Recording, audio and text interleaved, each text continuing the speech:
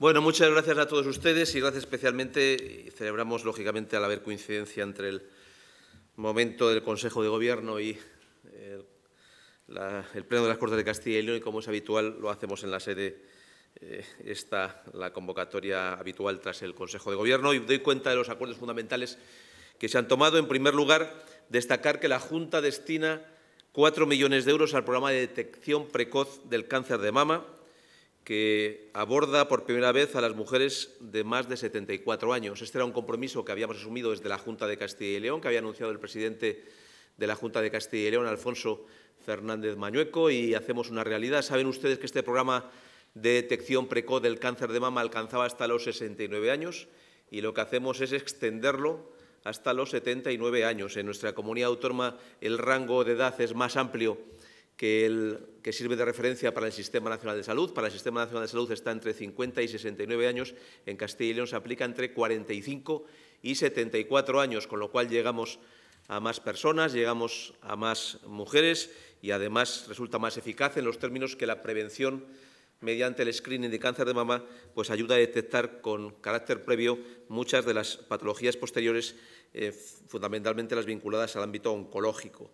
Se contrata de esta forma la doble lectura y la emisión de informes diagnósticos correspondiente a un total de 125.000 mamografías cada año, que son las que se estiman necesarias en relación con este ámbito de ampliación que les hemos descrito. La población a la que va destinada incluye en Castilla y León las mujeres entre 45 y 74 años, hasta ahora era 45 y 69, se amplía por tanto en cinco años más para llegar hasta los 74 años. Y como les digo, estos son más que lo que se toma de referencia eh, con carácter general para el Sistema Nacional de Salud en la cartera de servicios, cinco años más por arriba, y también cinco años más desde antes. Gracias a ese tipo de mamografía se detectan entre el 90 y el 95% de los tumores, por muy pequeños que estos sean, y en el último año para el que se tienen datos completos, que es el año 2022, se indican que un 6,5% el total de las 122.000 mamografías realizadas tuvieron sospecha que se derivó posteriormente a pruebas diagnósticas y, por tanto, ayudó a la detección y al screening del cáncer de mama. También en el aspecto sanitario se pondrá en marcha el servicio de radioterapia en el Hospital de Soria, con una inversión de 8,4 millones de euros, que incluye tanto el acelerador lineal como las obras de la unidad satélite. Eso es algo que ayer anunció el presidente de la Junta de Castilla y León y, como tal, lo cumplimos hoy. El importe global de 8,4 millones de euros es la suma de dos cantidades de 5,4 millones de euros correspondientes a las obras de la instalación de la obra civil necesaria para la ubicación de la unidad de radioterapia y 3 millones de euros se refiere en concreto a la adquisición e instalación del equipo de acelerador lineal multienergético, que aborda las características que vienen descritas en la documentación que les ha sido entregado, en concreto lo que es la obra civil, la infraestructura civil, la obra en las instalaciones del hospital supone 5.438.000 euros y lo que es el equipo e instalación del acelerador lineal son 3.025.000, en total 8.463.000 euros. Las obras para la construcción del búnker incluye el área de tratamiento, el área de simulación, el área de acceso general y apoyo administrativo, el área de planificación y control y las áreas de trabajo y servicios. En total, las inversiones que hoy traemos en materia sanitaria ascienden a 12,5 millones de euros prácticamente, que es la suma de ambas inversiones, tanto en radioterapia como en el skinning de cáncer de mama.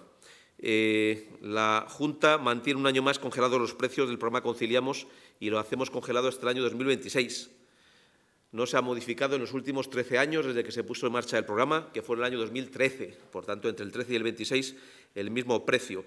Esto supone que se mantiene exento a las familias con menos renta, se cobra 4 euros para las familias con renta intermedia y 6 euros para el resto.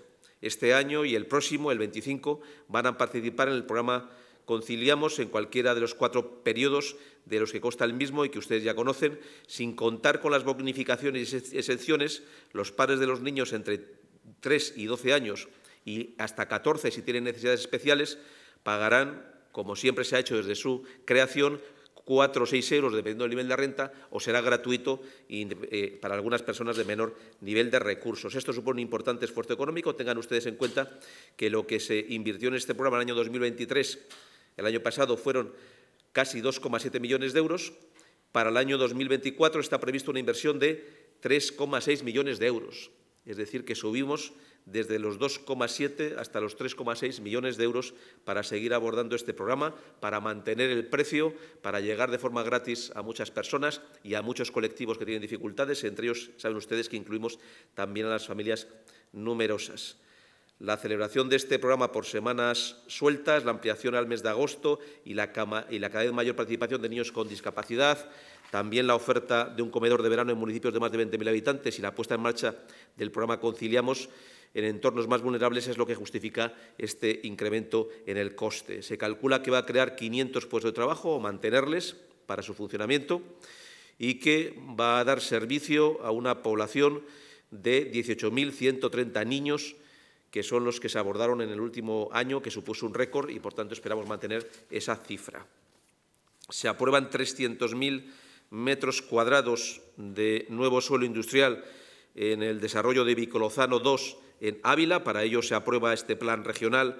Supone una superficie cercana a las 70 hectáreas y una inversión de 16,8 millones de euros, casi 17 millones de euros. Va a permitir generar una nueva oferta cualificada de suelo industrial con destino a actividades productivas y logísticas, en este caso en la provincia de Ávila y dentro de lo que es el plan territorial industrial de Ávila que presentó el presidente de la Junta de Castilla y León, Alfonso Fernández Mañueco.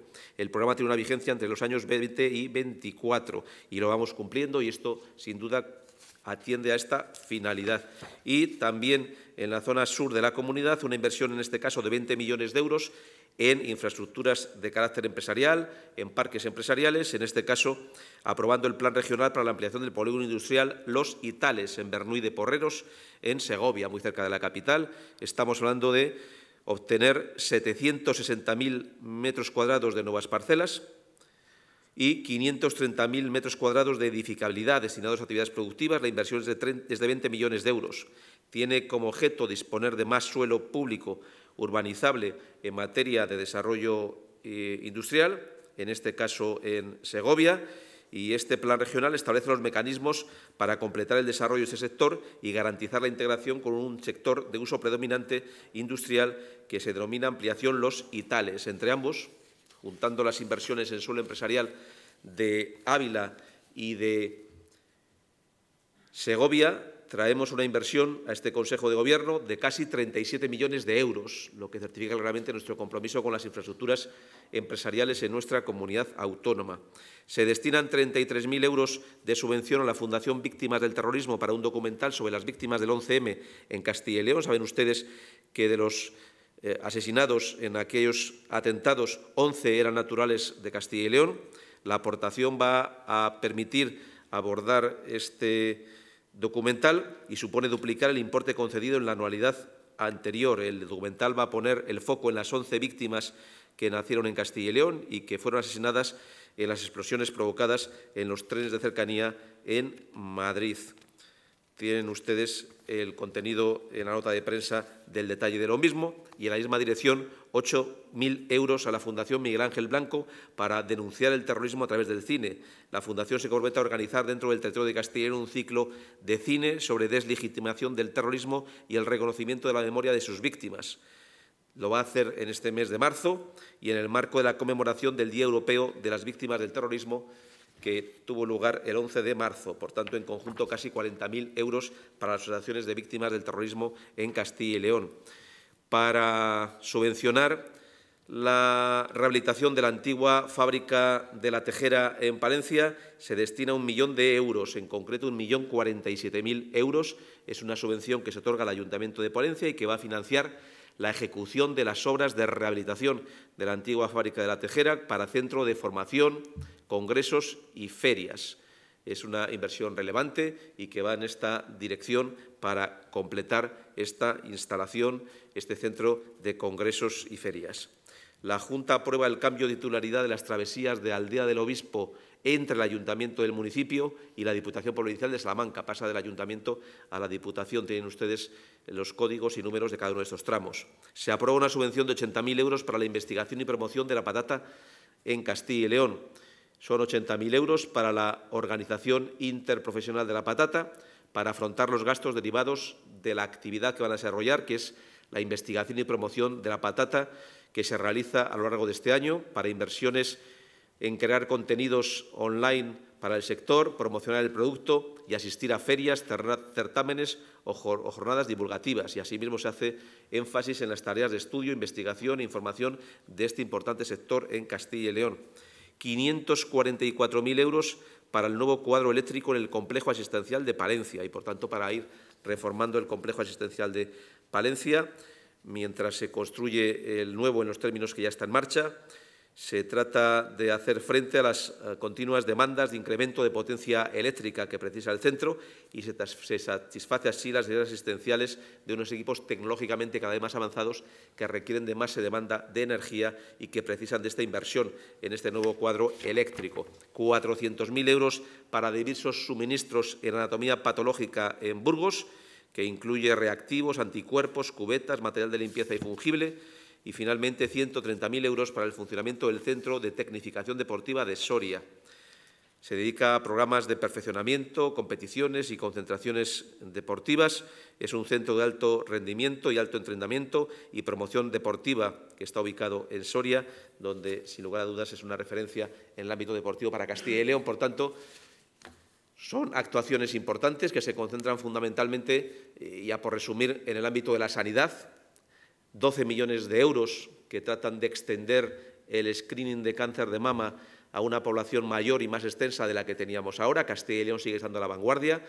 Se llega a la población entre 70 y 74 años y, por tanto, seguimos siendo una referencia en el ámbito nacional, más allá claramente de lo que establece el Sistema Nacional de Salud en su cartera de servicios.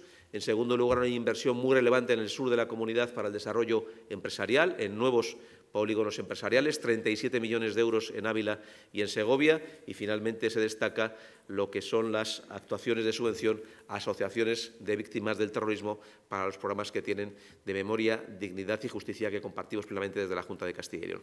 Y, sin más, pues si tienen eh, alguna pregunta que formular en relación con estas cuestiones o con cualquier otro tema haya salido o no en el Consejo de eh, Gobierno en los acuerdos, pues estamos a su disposición. Buenos días. Buenos días. Eh, son una serie de cuestiones sobre diferentes sentencias, así que vamos a ir una, a una pregunta. me gustaría primero una valoración sobre la sentencia del TSJ que anula la modificación del plan de residuos de Castilla y León eh, realizada por la Consejería de Medio Ambiente. La sentencia, el TSJ recuerda que la revisión del plan exige que se respete el derecho a la participación que recoge la Constitución, algo que también eh, ha remarcado Ecologistas en Acción, que es eh, denunciante. me gustaría saber una valoración y si van a, recurrir. ¿Contesto ya?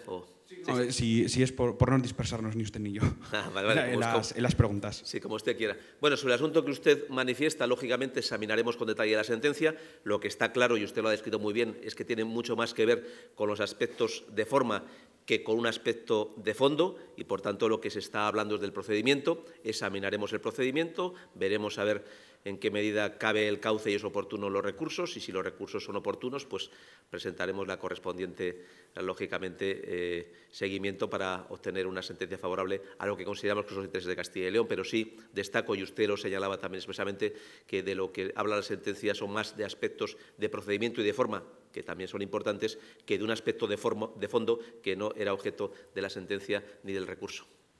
También sobre tipo de procedimientos, el, el el Tribunal Supremo en febrero eh, fallaba en contra eh, del decreto de especies cinegéticas de Castilla y León de 2018.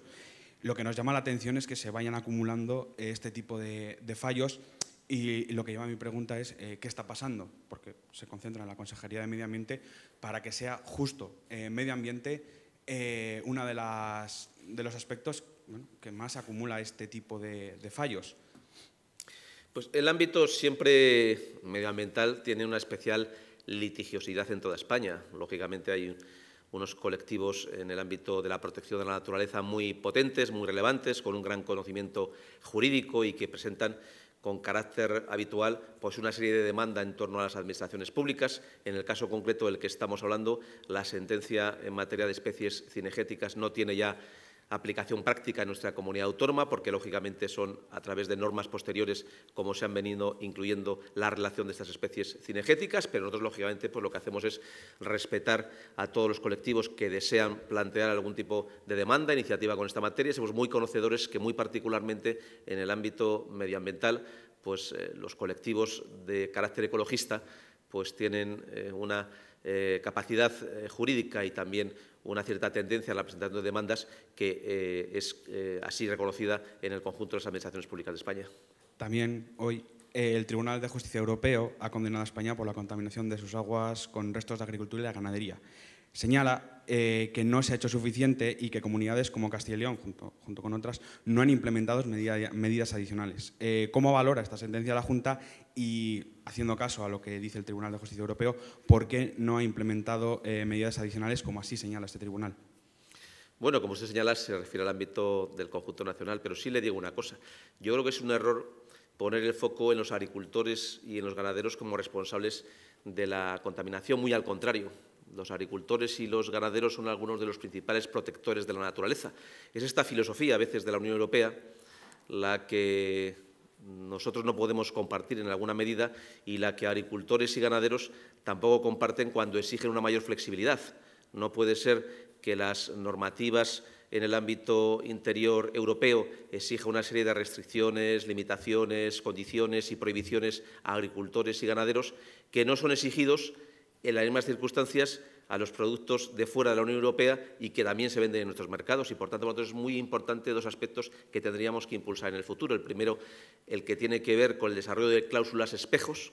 Tendríamos que ser, al menos desde la Unión Europea y el Gobierno de España, en el ámbito de las fronteras, igual de exigentes en el cumplimiento de requisitos para los productos que vienen de fuera de la Unión que para aquellos que se producen con las máximas garantías dentro de la Unión Europea y segundo lo que tiene que ver con los mecanismos de flexibilización de algunas condiciones que lógicamente son de muy difícil cumplimiento por los agricultores y ganaderos. Consideramos que sería un error que se interpretara este tipo de iniciativas europeas como una crítica a agricultores y ganaderos y desde aquí dejamos muy claro nuestro respaldo a la agricultura y a la ganadería de Castilla y León. Ya, pero Mm, no sé si, si, no creo que me haya respondido, si es que por qué la Junta de Castilla y León no ha implementado mm, este tipo de medidas, sobre todo destinadas a nitratos, acuíferos, eh, porque es lo que en base es eh, la parte del tirón de orejas del Tribunal eh, de Justicia Europeo.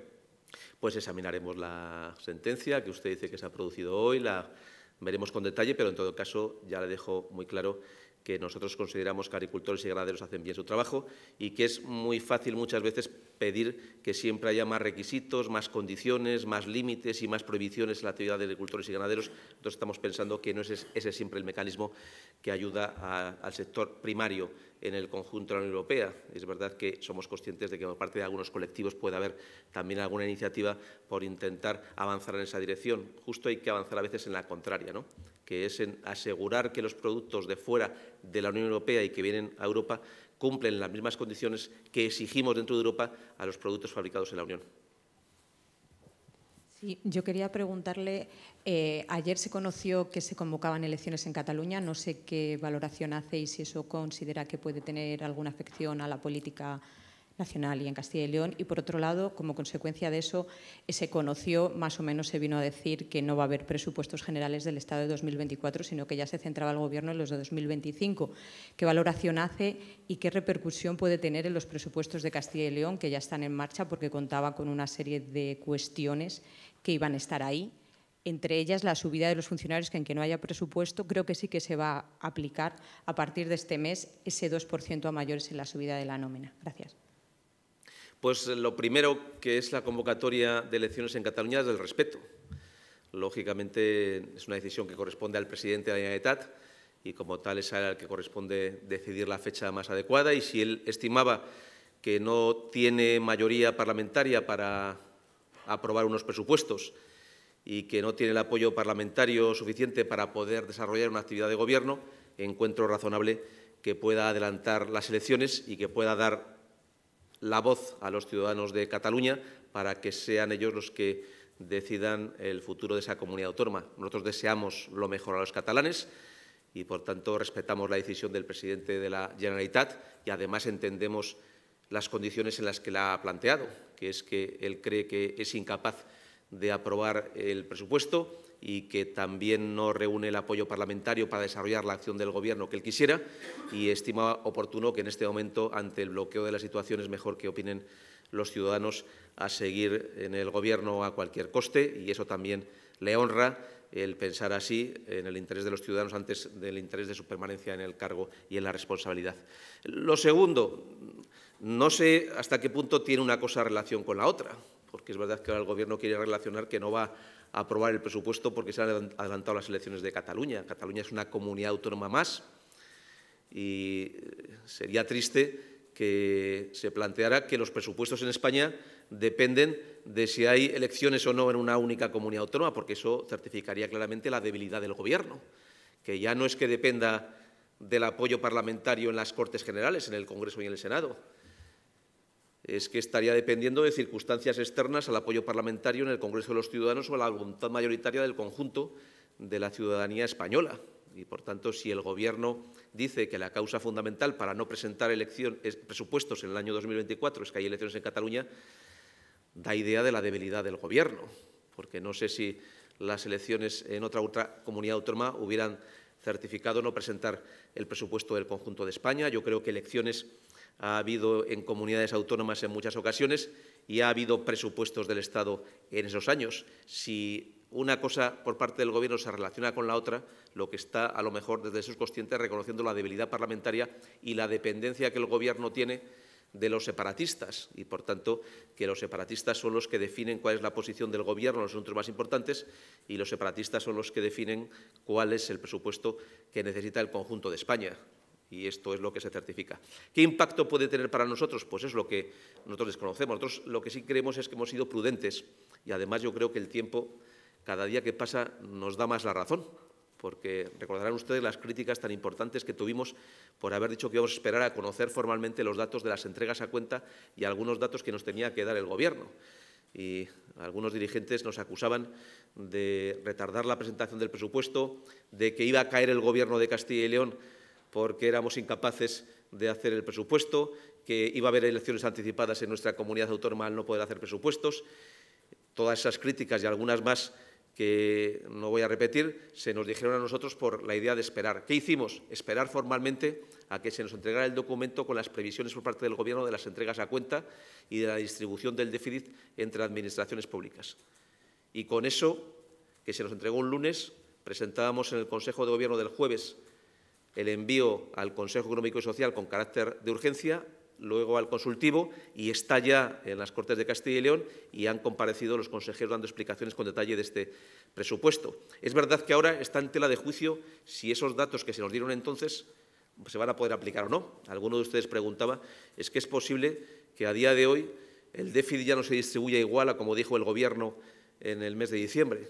Y es posible también que las entregas a cuenta no sean las mismas. Lo cierto es que ya estamos en marzo y se nos han pagado cada mes que llevamos del año 2004 51,5 millones de euros menos de lo que nos anticipó como entregas a cuenta del Gobierno para Castilla y León. En dos meses, 103 millones de euros hemos recibido de menos del Gobierno de lo que se nos anticipó como entregas a cuenta. Incluso hemos recibido menos de lo que recibimos por esos dos meses el año 2023, el año pasado. Por tanto, eh, tiene que ser el Gobierno que nos convoque a las comunidades autónomas, que nos diga si algo va a cambiar y qué impacto puede tener. Yo siempre dije que un presupuesto da estabilidad, da seguridad, da confianza y que la estabilidad, la seguridad y la confianza es la base para las inversiones. Y, lógicamente, hoy en día no haber presupuesto en España no es buena noticia porque, lógicamente, eh, pone de manifiesto la falta de seguridad y la falta de confianza que hay en la acción de Gobierno y esto crea indefinición e inseguridad y, por tanto, puede retraer algunas inversiones. Y, a su vez, pone de manifiesto la debilidad del Gobierno, que ni siquiera es capaz de presentar unos presupuestos o que la presentación de los presupuestos depende de las elecciones en otras comunidades autónomas. Pero, en todo caso, sí que hay un hecho llamativo, que es que la obligación de presentar los presupuestos es una obligación legal. Otra cosa distinta es que el Parlamento los apruebe o no pero que el Gobierno ya asuma que no va a presentar los presupuestos directamente del año 2024, sencillamente porque los separatistas pues, no están en condiciones de apoyárselo, es reconocer que el Gobierno de España, como algunos pensamos, depende de los separatistas, que el mando a distancia del Gobierno de España está en Waterloo y el contenido de los presupuestos lo dictan los separatistas en este momento en el contexto nacional, lo cual es triste que el presupuesto de España y su presentación dependa de la decisión de haber elecciones en una comunidad autónoma o de no haberlas. Sí, hola, buenos días. Quería plantearle varias cuestiones. Al hilo de lo que está comentando, quería saber si hay algún riesgo para algún proyecto que contempla los presupuestos generales del Estado, como la Valladolid-León o, la 61 o la de Soria. Pues esto lo tiene que decir el Gobierno. Lo cierto es que tenemos la mala suerte a su vez de que se prorroga un presupuesto que ya era muy malo para Castilla y León. Recordarán que el presupuesto del año 2023 solo había dos comunidades autónomas donde bajaban las inversiones. Y una de esas dos comunidades autónomas donde bajaron las inversiones era Castilla y León. Lo que hace es prorrogarse esa situación. Lo que nosotros pensábamos que iba a pasar durante un solo año, que es que se castigaba a Castilla y León bajándolo las inversiones y solo se nos castigaba a dos comunidades autónomas y una de ellas es Castilla y León, resulta que se nos va a castigar por dos años, porque lo que hace es prorrogarse un presupuesto que ya era malo para nuestra comunidad autónoma. es que, claro, el problema al final de estas infraestructuras que usted dice son de voluntad política. Y si ya con el presupuesto del 23 no se hicieron, ¿qué esperamos si lo que se hace es prorrogar el presupuesto del 23?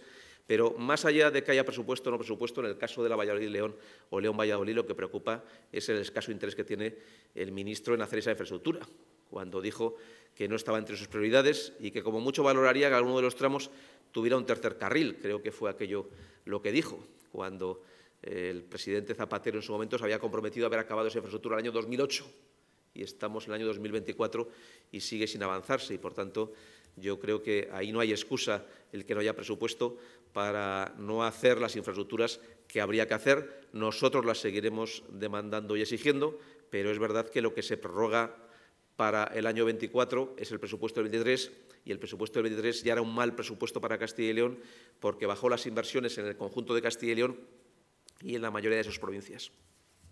Sí, quería preguntarle si conoce la Junta de Castilla y León los criterios de las balanzas fiscales. Eh, si es así, si los conoce, ¿qué valoración hace? Eh, el problema de las balanzas fiscales muchas veces es el sentido con la que se producen o con las que se publicitan. ¿Y qué es lo que pasa en este momento? Pues algo que ustedes conocen. La publicación de esas balanzas fiscales es una exigencia de los partidos separatistas para que Pedro Sánchez sea presidente del Gobierno. Viene en alguno de los acuerdos que se publicó y viene seguramente en algunos de los acuerdos que nos han publicado y que desconocemos, porque en algunas de los últimos decretos leyes que se firmaron parece que firmaron algunas cosas que se nos ha dicho que se firmaron, pero nunca hemos conocido públicamente ese documento. En ese documento se hablaba de ceder competencias en inmigración y de publicar balanzas fiscales. ¿Cuál es el problema? No es tanto de los datos, sino que el sentido que se busca con esto es dar la sensación de que hay algunas comunidades autónomas que aportan unas cantidades y reciben otras, cuando lo que está muy claro es que quienes pagan impuestos son los ciudadanos, no los territorios. Los territorios no pagan impuestos, pagan los ciudadanos los impuestos. Y, por tanto, nosotros defendemos claramente una cosa que yo creo que es muy coherente con la Constitución, que es que los españoles pagan impuestos en función de su capacidad económica y reciben servicios en función de sus necesidades. Y eso es algo que debiéramos proteger por encima del interés político. Y por tanto, es un debate que yo creo que el Gobierno, cuando plantea esto, es muy conocedor que el objetivo último de quien se lo pide que se publique es precisamente este, avanzar hacia la desigualdad, hacia la ruptura de los criterios que igualan a los españoles y, por tanto, hacia, hacia un principio, que pareciera que alguien, porque paga más impuestos, tiene que tener mejores servicios. Nosotros estamos radicalmente en contra de esto. Es que se pretende quizá que haya que llevar la declaración de la renta para ir a una asistencia sanitaria en un hospital y que la asistencia sea mejor si se paga más en la declaración de la renta. No tiene ningún sentido, porque el servicio tiene que recibirse en función de las necesidades y los impuestos se pagan en función de las capacidades contributivas y no pagamos impuestos los territorios, pagamos impuestos los ciudadanos y esto es lo que nosotros defendemos. Por otra parte, estas balanzas fiscales, lógicamente, se pueden hacer y elaborar de muy distintas formas. Lógicamente, Una de ellas es la que se puede optar por esta vía, pero tenga en cuenta usted que se puede imputar el impuesto de sociedades en su recaudación a donde está la sede fiscal de una empresa y esa empresa a lo mejor realiza la mayor parte de su actividad en otra comunidad autónoma. Por tanto, son criterios de imputación que, en función de cómo se apliquen por parte del Gobierno, llegan a consecuencias muy diferentes y, muy interpretables, que es lo que está pasando, que lo que sirve, lógicamente, es para que haya interpretaciones muy distintas y muy diferentes y todas ellas muy contrarias a la igualdad de los españoles. Sí, quería preguntarle ya, en relación a la ley del juego, ¿cuáles son los aspectos que cambia esta ley respecto a lo que había antes? Pues es objeto del debate. Justo ahora, mientras estamos aquí, yo creo que el consejero de Presidencia está interviniendo y está poniendo de manifiesto el contenido de, esta ley. Pues sobre todo dar más seguridad, más protección a los consumidores, más garantía a todos, buscar el máximo nivel de consenso entre todos, también la protección más, la población más joven que se encuentre especialmente protegido y también adaptar una normativa que podría tener algunos años a los nuevos cambios eh, de carácter general. Pero sin lugar a dudas yo creo que por respeto al ámbito parlamentario, como ahora mismo estará interviniendo el consejero de presidencia sobre este asunto, pues eh, detallará con más precisión el contenido de los cambios y también los grupos parlamentarios pues, tendrán sus posiciones al respecto y esperemos finalmente que se apruebe el contenido de esta, de esta iniciativa. Hola, buenos días. Eh, buenos días. Sobre el tema del presupuesto, sí. lo que me gustaría que nos aclarara, si es posible, es técnicamente el Gobierno, eh, una vez que ha, dicho que no va a hacer eh, proyecto de ley de presupuestos, ¿qué, cantidades de entregas a cuenta les tiene que entregar a las comunidades autónomas? En el caso de Castilla usted ha presupuestado, creo recordar, 700 millones más respecto al año anterior.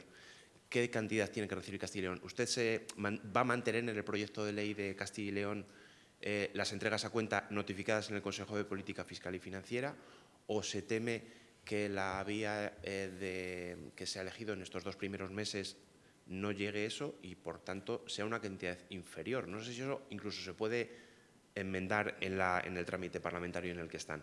Y por aprovechar el turno, dos, dos cuestiones eh, y completando el tema de, las, de los recursos, etcétera. Nos remitieron a que iban a estudiar el recurso sobre Navacerrada. Tengo entendido que el plazo acababa el día 14.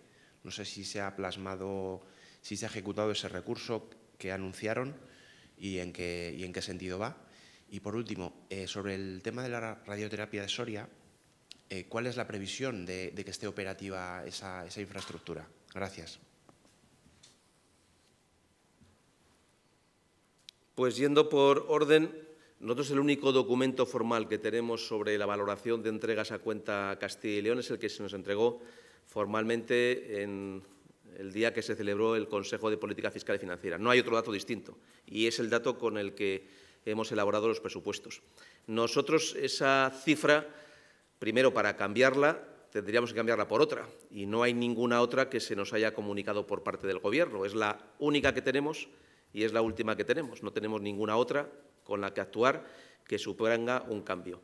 Eh, una modificación a la baja de la cifra del presupuesto supondría retirar el presupuesto, porque saben ustedes que a partir del momento de la entrega del presupuesto lo que cabe son las enmiendas parciales y las enmiendas parciales suponen modificaciones de partidas dentro de cada sección presupuestaria, pero queda fijado el volumen global del presupuesto y el volumen global de cada sección presupuestaria. Por tanto, si hoy tuviéramos que rebajar la cifra del presupuesto en función de estas circunstancias, habría que retirar el presupuesto de Castilla y hacer uno nuevo. Pero nadie nos lo ha pedido ni a nosotros ni a ninguna comunidad autónoma. Y tenga en cuenta usted que incluso se nos acusaba de lo contrario, de haber sido prudentes y esperar. ¿Qué hubieran dicho de nosotros, como han hecho eh, algunas comunidades, y con razón quizá también, presentando un presupuesto estableciendo una estimación propia interna de unas entregas a cuenta? Nosotros tenemos una garantía que es que las entregas a cuenta que hemos incluido en el presupuesto se corresponden con el que oficialmente sirve de base de documento entregado por el Gobierno. Si hubiéramos planteado unas cifras distintas, hoy seríamos objeto de crítica, pero lo que sí que tenemos es un documento que podemos entregar, que podemos asistir al debate parlamentario si alguien nos dice cualquier circunstancia, donde el Gobierno nos comunica unas entregas a cuenta a Castilla y León y también se las facilita a ustedes y son públicas. Claro, si ahora el Gobierno esas entregas a cuenta tiene dificultades para hacerlas frente, pues habrá que ver cómo se puede abordar la solución.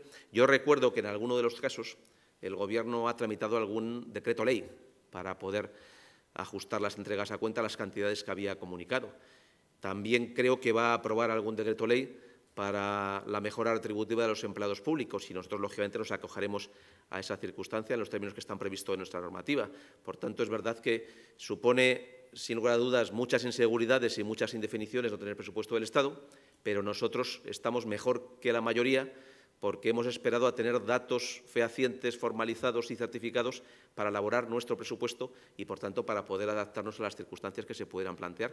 Pero, a día de hoy, nadie nos ha comunicado una cifra distinta, una cantidad distinta, ni que vayan a cambiarse las cifras comunicadas formalmente. Lo que tenemos es una comunicación oficial y mientras no haya otra distinta y nueva y posterior, no hay por qué pensar que esa que se nos comunica oficialmente no es válida a día de hoy.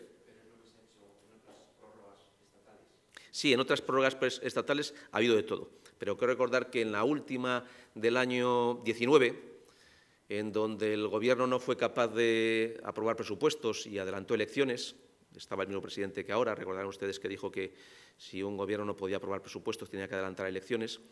En aquel momento que no se aprobó el presupuesto del año 19, el Gobierno llevó un decreto ley para adaptar las entregas a cuenta a las cantidades que podían corresponder a las comunidades autónomas. Y también otros años es normal que también se lleve un decreto ley de adaptación de las retribuciones de los empleados públicos. Ni los empleados públicos, ni las comunidades autónomas, ni los ayuntamientos tenemos culpa de la debilidad del Gobierno. Y, por supuesto, esta explicación de que la culpa de que no haya presupuestos la tiene el presidente de la convocando elecciones, me parece a mí que la responsabilidad básica es de un Gobierno que no tiene capacidad de sacar adelante unos presupuestos porque no tiene apoyo parlamentario y no es capaz de gobernar. Y tiene como único objetivo simplemente estar más tiempo en sus actuales responsabilidades, aunque en esas responsabilidades no pueda ejercer su programa, ni pueda desarrollar ninguna iniciativa como aprobar un presupuesto y simplemente lo que puede es hacer aquello que le mandan con un mando de distancia desde Waterloo. Ahí sí, las otras dos cuestiones. El tema de Navacerrada no le sé yo confirmar eh, con precisión. Seguro que le podremos informar con más detalle del momento y plazos. Y lo último de Soria de radioterapia, creo que el plazo de ejecución, no sé si viene en la nota de prensa, pero recuerdo que estaría previsto que estuviera en marcha el próximo año, en función de todas las obras. Eh, en todo caso, lo podremos también confirmar, pero el plazo del que estamos hablando es que este centro esté operativo seguramente en el próximo año. Sí, quería preguntarle por el tema de los trasplantes de corazón que se van a derivar a Salamanca. La Organización Nacional de Trasplantes ha desaconsejado esa división y también les ha pedido que aclaren por qué algunos de ellos desde Salamanca se derivan fuera de la comunidad en lugar de derivarse al clínico de Valladolid, donde deberían hacerse. ¿Cómo valoran este, esta, esta decisión o esta declaración de la Organización Nacional de Trasplantes? Nosotros no vamos a dividir un programa de trasplantes. Nosotros lo que vamos a hacer es fortalecer el programa de trasplantes que tiene Castilla y León y, por tanto, fortalecer el programa de trasplantes supone sumar todos los esfuerzos y todos los recursos que tengamos desde la comunidad autónoma para que este programa funcione mejor. Es un programa que yo creo que es un programa de éxito.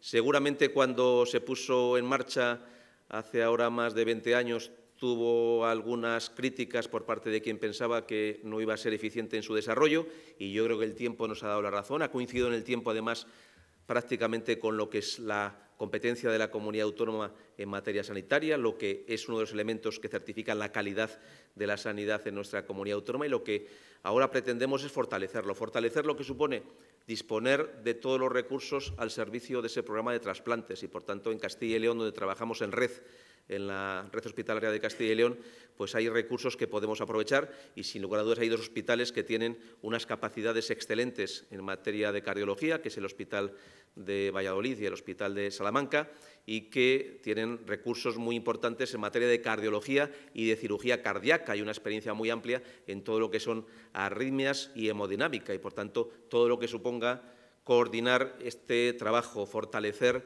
estos recursos y poner a disposición de ese programa de trasplantes de Castilla y León todas las capacidades de recursos materiales humanos de los que dispone nuestra comunidad autónoma son positivos.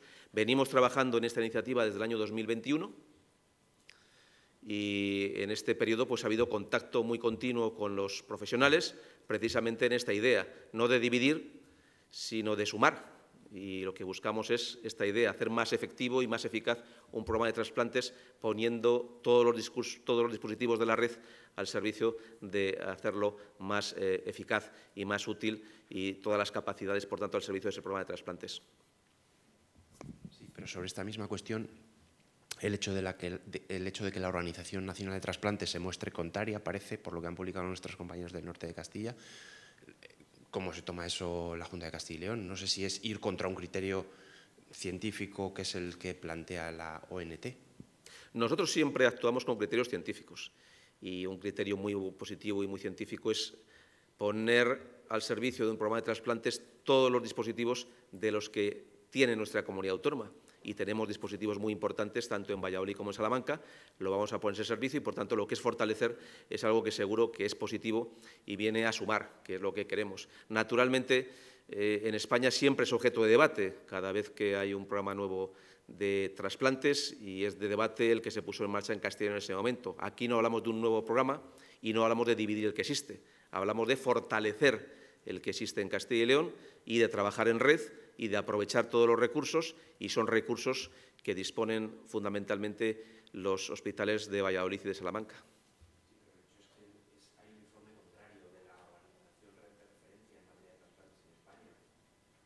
Pues toda opinión es útil y toda opinión nos tiene que ayudar, lógicamente, en el proceso que estamos haciendo de poner a disposición de ese programa de trasplantes de Castilla y León todos los recursos. Pero lo que hacemos nosotros es sumar recursos y cuanto más recursos sumemos, mejor. Nadie entendería que teniendo muy buenos recursos en, materia de los servicios de cardiología y de cirugía cardíaca, tanto en Valladolid y en Salamanca, no fuéramos capaces de trabajar en red y ponerlos en común al servicio de este programa. Hoy había reunión de la Comisión de Salud Pública para abordar el plan antitabaco del Gobierno. No sé si acabó esa reunión o si nos puede anticipar qué es la, cuál es la postura que ha defendido hoy la Junta. Nosotros vamos a esperar a ver qué es lo que propone el Gobierno y vamos a analizarlos. Siempre vamos con vocación de intentar llegar a acuerdos, vamos a ver cuál es su, posición e intentar también el máximo consenso posible entre todas las comunidades autónomas. Sería bueno que lo que se hiciera fuera con carácter general para toda España y, por tanto, esa es nuestra vocación. ¿Qué decimos nosotros también? Que en España el principal problema de la sanidad es la falta de profesionales sanitarios. Y estamos viendo mm, como hay ministerios que, aun reconociendo que este es el principal problema, nos daba unas esperanzas de que se iba a abordar, pero, sin embargo, al final caemos en que se acaban centrando en las cuestiones que no son las más importantes y las más prioritarias ni el principal problema que tiene la sanidad. Y a nosotros nos gustaría que se haga compatible hablar de esta cuestión con dedicar la mayor parte del tiempo y del esfuerzo del Ministerio a resolver el principal problema que tiene la sanidad española y que es competencia del Gobierno, que es la falta de profesionales sanitarios especialistas en materia de sanidad. ¿Hay más preguntas? Sí. Sí, por, rematar el, asunto de los trasplantes, ¿han respondido a la ONT con alguna comunicación diciendo que, su opinión es útil, pero que, van a seguir adelante con esta propuesta? Y, sobre el tema de, los contratos, estos de esta semana se ha llevado hablando mucho tiempo sobre contratos, sobre los casos de supuesta corrupción que, afectan al PSOE. Em, ¿La Junta de Castilla y León se plantea, está dispuesta a, a, cometer alguna auditoría, como se está planteando en alguna comunidad autónoma en algún ministerio? Eh, ¿Serían partidarios mm, de, revisar de nuevo esa contratación que se realizó durante la, durante la pandemia, más allá de los, que de los, de los mm, informes que se ha ido realizando el Consejo de Cuentas, etcétera, pero una, auditoría concreta, visto lo visto, lo, que ha ocurrido en algunos territorios. Gracias. Sí, en las dos cuestiones, lógicamente cualquier informe que se nos plantea es muy interesante y nos ayuda, lógicamente, a que el desarrollo e implantación de este modelo de trabajo en red sea lo más operativo posible y, por supuesto, que los tendremos en cuenta y seguro que los profesionales así lo harán y seguro que la ONT y otras organizaciones valorarán muy positivamente el esfuerzo que hacemos en Castilla y León por disponer de todos los recursos al servicio de la sanidad y ponerlos en red. Como le digo, es muy importante que si en Castilla y León tenemos recursos tanto en Valladolid como en Salamanca en materia del servicio de cardiología y del servicio de cirugía cardíaca, compartamos, trabajemos, sumamos, unamos y que todos los recursos materiales y humanos estén al servicio de este programa de trasplantes, que además yo creo que es un éxito, que funciona muy bien y que puede ser reforzado y mejorado y en eso estamos trabajando. Lo segundo, eh, de los datos que tenemos, nosotros eh, podemos confirmar que la trama de la que usted habla no ha operado con venta de mascarillas en nuestra comunidad autónoma. Y es la información que le puedo facilitar del primer examen que se ha hecho. Y esa es la tranquilidad que tienen que tener los ciudadanos de Castilla y León. Parece que sí que han actuado de la información que se tiene en varias comunidades autónomas, en el caso de Castilla y León no, y por tanto es un trabajo, sin lugar a dudas, que está a disposición del conjunto de los ciudadanos, siempre la opción de mejorar, de fortalecer todos los mecanismos de seguimiento, de control interno y de control externo. Hace poco el, propio Consejo de Cuentas hizo un informe sobre el funcionamiento del COVID en nuestra comunidad autónoma y que está a disposición de todos ustedes, pero en relación con este asunto yo sí les digo que esa trama no ha vendido eh, material eh, de mascarillas en Castilla y León durante el periodo de la pandemia. Incide en, mascarillas. No sé si, nos puede ampliar eso a otro, a otro tipo de material, porque mm, sé que hubo muchos contratos sobre, muchas, sobre mucho material. No sé si, si, si, el, si el análisis ha sido tan exhaustivo para tranquilizar a los ciudadanos en el sentido de que, de que las cosas aquí se hicieron, se hicieron bien. Sí, pues ampliándolo, eh, las empresas que se han publicado como vinculadas a esa trama no han vendido ningún tipo de material sanitario a la Junta de Castilla y León durante la época de la pandemia. Si no hay más preguntas... De los datos que tenemos. Sí. sí. Vamos a dar paso ya a nuestros compañeros desde las diferentes provincias. Comenzamos en Soria con Iciar Ortega de Soria Noticias. Cuando quieras, Iciar, adelante. Buenos días. Hola, buenos días. Eh, yo tenía varias preguntas. Eh, la primera eh, relacionada con la unidad de radioterapia de Soria, que es una reivindicación histórica de la provincia. ¿Qué valoración hace el portavoz de que vaya a llevarse a cabo por fin casi 20 años después?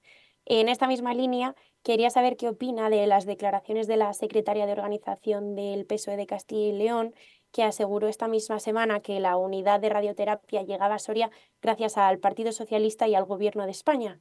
Y bueno, esto ha venido en el marco también de una campaña que los socialistas están llevando a cabo llamada ¿Qué hace Mañueco con nuestro dinero? y que al final extiende una sombra de dudas eh, de corrupción sobre el actual gobierno de la Junta. No sé si podría tener una valoración de estas tres cuestiones. Bueno, pues la primera cuestión es muy evidente. Alfonso Fernández Mañueco comprometió hacer la unidad de radioterapia en Soria y Soria va a tener unidad de radioterapia. Es verdad que hay dirigentes políticos, otras formaciones políticos, que eran contrarios a este proyecto. Y no hay que ir muy lejos para las hemerotecas. Y si ustedes lo repasan, pues verán que es así, que hay responsables políticos en Castilla y León y en las Cortes de Castilla y León que defienden su posición contraria a la extensión a todas las provincias de las unidades de radioterapia y específicamente dijeron que eran contrarios a que hubiera una unidad de radioterapia en Soria.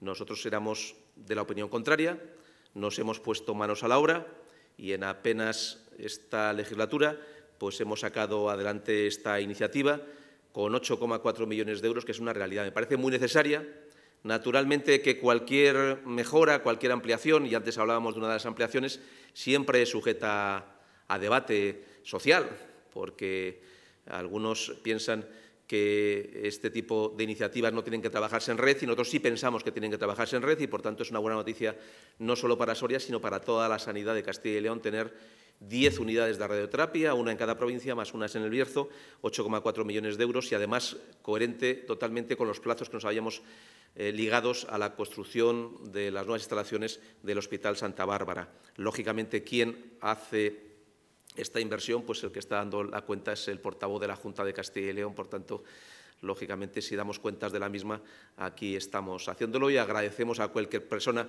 que se sume a este carro, incluso a aquellos que dicen que tienen algún mérito en haberlo conseguido.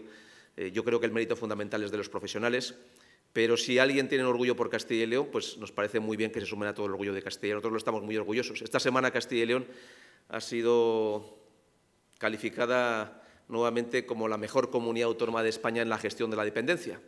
Todo aquel que quiera sumarse a ese orgullo está invitado. Y, en segundo lugar, ¿qué hace Mañueco con nuestro dinero? Me preguntaba. Pues mire, vea usted los resultados. ¿Qué hacemos? Tener la mejor educación de España, tener el mejor sistema de dependencia de España, tener uno de los mejores sistemas de servicios sociales y de sanidad de España, tener menos tasa de paro que la media española, tener una comunidad que exporta más de lo que importa y tener una comunidad con mayor peso industrial que la media española. Eso es lo que hace la Junta de Castilla y León con el dinero de los ciudadanos. Es el turno ya de Carlos Domínguez, de León. Adelante, Carlos, cuando quiera. Sí. Hola, buenas tardes. Eh, a propósito de radioterapia, eh, querría confirmar si las dos únicas instalaciones públicas que quedan por desarrollar por parte de la Junta de Castilla y León son precisamente la del Bierzo, que mencionaba ahora, y la de Segovia, y qué plazos podrían manejar para que dejen de estar atendidos por conciertos con clínicas privadas que lo desarrollan hasta el momento, menos en el caso de Ponferrada. Eh, compromiso como el de Soria y el resto de las capitales proviene de 2017, si no recuerdo mal, y todavía eh, ese servicio público no está operativo. Quería saber cuál es el calendario previsto y presupuestario. Eh, respecto a la conexión entre la comarca del Bierzo, que ha tenido ocasión de preguntar, y Asturias, hoy eh, nuevamente el presidente del Principado de Asturias ha vuelto a lamentar la falta de compromiso de la Junta de Castilla y León con el arreglo de la vertiente leonesa de la carretera que ellos sí están ejecutando, cuya mejora ejecutan en Valdeprado. Y, y se pregunta por qué lo que estaba comprometido, según él, es algo que querría confirmar, ahora resulta bloqueado por parte del gobierno de la Junta de Castilla y León en la vertiente que afecta a la provincia de Leones, a la comarca del Bierzo. No sé si tiene alguna respuesta sobre esas declaraciones. Y por último, ha habido una reciente resolución de esta misma semana del Procurador del Común eh, instando a la Junta de Castilla y León a fijar plazo definitivo e inmediato a la apertura del Museo de Semana Santa, la cual se puso más de dos millones de euros de inversión pública por parte de la, de la Junta de Castilla y León, recordando que hay una cláusula que obliga a la devolución de las subvenciones si no se cumple la finalidad museística. Y hace cuatro años que se inauguró y sigue sin haber museo de la Semana Santa de León abierta. Entonces, querría saber cómo valoran esta resolución del Procurador del Común y qué fecha podrían estar barajando para pedir la apertura ya y el cumplimiento del convenio o bien si estarían dispuestos a reclamar la devolución de ese dinero invertido. Gracias. Sí, gracias, gracias a usted. Eh, la primera pregunta, las unidades de radioterapia. Eh, Castilla y León tenía al principio de esta legislatura cinco unidades de radioterapia en Burgos, León, Salamanca, Valladolid y Zamora. Se puso en marcha la unidad de radioterapia en Ávila, con lo cual tenemos seis ya públicas, y damos servicios a través de concierto en El Bierzo y en Segovia. En consecuencia, carácter público son cuatro las que restarían dentro de nuestro programa. La de Soria es la que hemos hablado hoy, con esta inversión que hemos autorizado en el Consejo de Gobierno, 8,4 millones de euros. La de Palencia se autorizó en el Consejo de Gobierno el 1 de febrero del año 2024 por un importe de 5,7 millones de euros. La de Segovia está ligada a la nueva edificación hospitalaria que está ya a punto de llevarse a cabo la redacción del proyecto y en ese contexto se llevará a cabo la de Segovia y en el Bierzo, que quizá es lo que eh, preguntaba con más detalle, está prevista la ubicación del archivo del Hospital de Ponferrada, como usted eh, conoce. En la planta superior de ese archivo se van a ubicar las consultas de rehabilitación y en la parte inferior del archivo iría la unidad satélite de radioterapia. Nuestra idea es que las obras puedan comenzar antes de un año y está previsto que el plazo de ejecución sea de 12 meses. Ah, sí, perdón. En el caso de Asturias, eh, perdón, sí, eh, había contestado y como en varios temas no me había dispersado. En el caso de la comunicación con Asturias, insistimos en la posición que teníamos. La mejor comunicación que pueda haber es la autovía que en su momento comprometió el presidente Zapatero. Nosotros nos parece que si se puede hacer la autovía es mejor que cualquier otra opción. Las comunicaciones entre comunidades autónomas son competencias del Gobierno y nosotros eh, iremos de la mano con la Comunidad de Asturias para exigir esa inversión que se comprometió, que nos ha llevado a cabo y nos parece que esta sería la más oportuna y, por tanto, sí que defendemos claramente que aquellas conexiones entre comunidades autónomas pues las tendría que liderar el Gobierno, que es la competencia que tiene en el ámbito eh, nacional. Y la última cuestión tiene que ver con el Museo de la Semana Santa de León. Es verdad que la Junta hizo una importante aportación económica. Nuestra misión es seguir el cumplimiento de esta ejecución. La inversión se ha realizado y, naturalmente, que lo que tiene que hacer el titular de la instalación pues, es cumplir las condiciones de la subvención y si, lógicamente, hubiera cualquier cuestión a este respecto, pues eh, la examinaríamos, pero es responsabilidad inicialmente del titular de la instalación. La inversión y la subvención era fundamentalmente, como ustedes conocen, para una actuación vinculada al aspecto arquitectónico y, como tal, está ya certificado la realización y la inversión de esas cantidades debidamente. Cerramos este recorrido entonces en Zamora, donde tenemos a Carlos Gil de la Opinión. Cuando quieras, Carlos. Hola, buenos días, señor consejero. Hola. Eh, no, sé si le he entendido bien, pero mm, es usted una especie de negacionista de la contaminación por, nitratos. ¿no? Mm, quizá no les está llevando este intento de apoyo del sector agrícola y ganadero a, pasarse un poco de frenada, porque ustedes mismos tienen tienen eh, identificadas zonas vulnerables a la contaminación de las aguas por nitratos procedentes de fuentes de origen agrícola y, ganadero. La pregunta es si, si, a pesar de este informe, de esta sentencia de la Unión Europea, no van a hacer nada al, al respecto. Y, quería hacerle también otra pregunta, está un poco extemporánea, pero es que no, he podido entrar en varios consejos de gobiernos, en relación a, los datos que salieron de, despoblación, en, los que creo recordar que solo Zamora y León perdíamos población y, ganaba hasta Soria ya, ¿no? Y, los presupuestos de, la comunidad. No veo ni una sola medida para paliar este problema, para compensar a una zona como, como Zamora intentar que, la despoblación no, llegue a un, límite tan extremo. Muchas gracias.